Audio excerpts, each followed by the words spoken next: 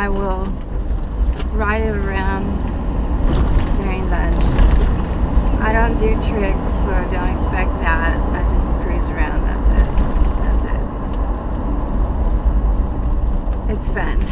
It reminds me of a time when I was a kid and my dad made me a scooter out of wood.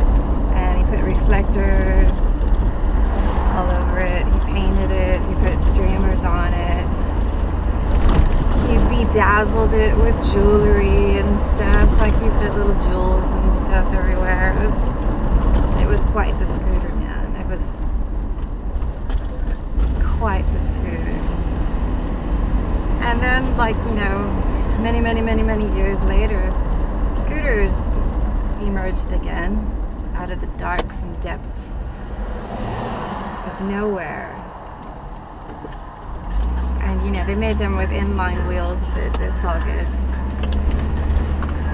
Mine was made out of old roller skate wheels, like, I'm talking steel wheels, you know what I mean? Like the wheels that were like you had to push it hard. They were like old roller skates that you strapped on your shoes. I don't know where he got those from. Maybe those were his.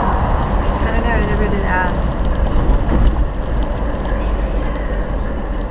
So I'm on my way to work, and this time I'm gonna get there early. I'm gonna get there on time, and I'm going to beat the Fonz.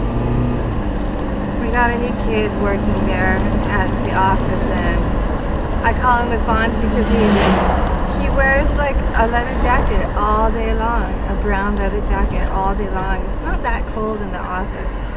Maybe that's just his style. I know. But ever since he started working there, the fucker's been taking my spot. And we don't have assigned spots. We don't. And I have pretty much parked in every single place that you can imagine, almost, in the fucking parking lot. And so, yeah, I've found this perfect space where all I do is just come into the drive and I just pull straight into it. I don't have to turn, I don't have to do nothing fancy. You just pull straight into it. It's a straight shot. And I've been getting there late, so he's been taking my spot away. I don't want to be rude. I don't want to go up to the kid and say, listen, don't park there. Listen, that's, you know, that's my spot. Park somewhere else. Someone did that to me when I first started working there, and I didn't think that was cool. So I don't want to do that. But I want my spot back, man. And the only way I can get it is to get there on time or early. And that's what I've been trying to do.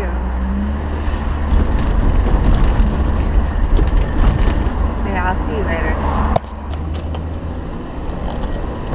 It's way too hot, man. It's way too hot. I'm crazy.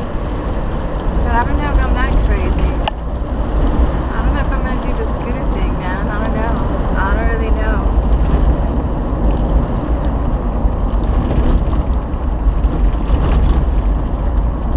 Somebody save me from this heat.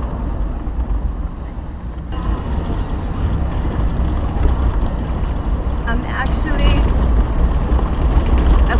video right now. Right now. And it's almost ready. I think it's probably already ready to be published. I don't know. I'll do that when I get home. Yeah, it's a um, unboxing video that I did two months ago. Don't hate me because my life is crazy.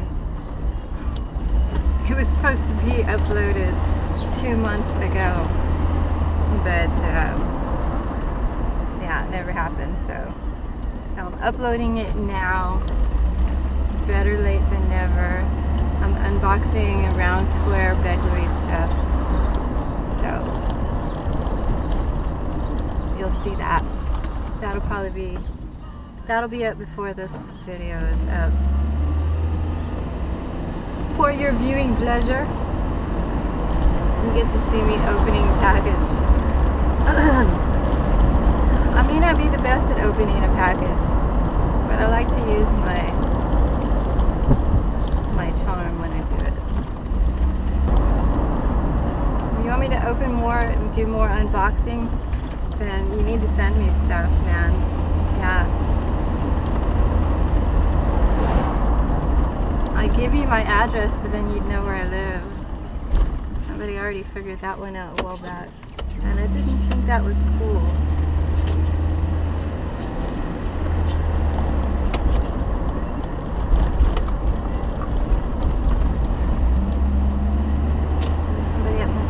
Oh, the door. No scooter stuff for me today.